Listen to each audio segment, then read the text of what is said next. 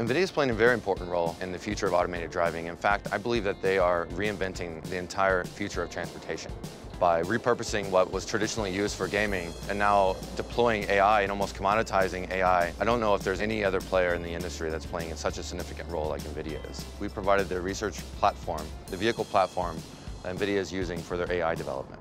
To do automated driving research, you have to have access to steering, braking, acceleration, and shifting. So we put together a kit that integrates into this car that gives you access to these things. The second part of that is, is the sensors that you install on the car. So these are things like laser scanners and radars and cameras, so you can get the situational awareness around the car.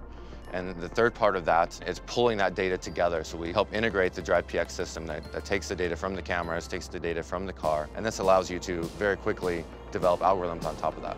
We developed the vehicle at our shop. And Nvidia engineers came in, and literally that day, they were deploying the software at our facility when they picked up the car. A few weeks later, the car had learned how to, to steer, and that was showcased last year at the GTC conference. So it's moved from having nothing on AI for automated driving to a few months later, you guys have full control over the car, and now a year later, you're at CES doing a full demo.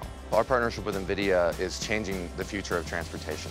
So we're very happy and very proud to be a partner of NVIDIA, and it's just the beginning of, of our partnership. So I think with the launch of BB-8 and the entire ecosystem on top and around DriveWorks, will become one of the most popular systems to use for all of automated driving in the future. If you would like to learn more about what we are doing, you can go to our website at autonomoustuff.com.